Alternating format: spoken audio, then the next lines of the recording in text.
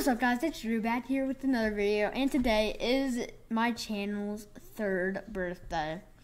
DrewBloop is officially three years old, not me. I'm not three, I'm not three. I just want to make that clear. By the way, my birthday is February 16th, so happy birthday to me. And um, yeah, so today is my channel's third birthday created on February 25th, 2018 and uh, my channel has grown a lot since then.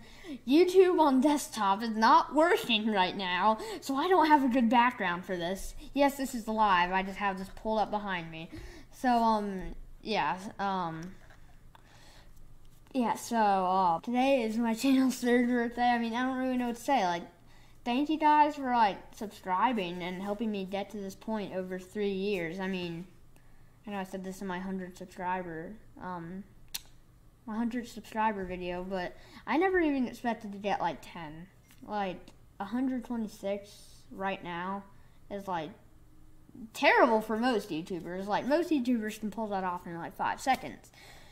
Like Mr. Beast and like them. and um yeah, like I think I'm doing pretty good for me.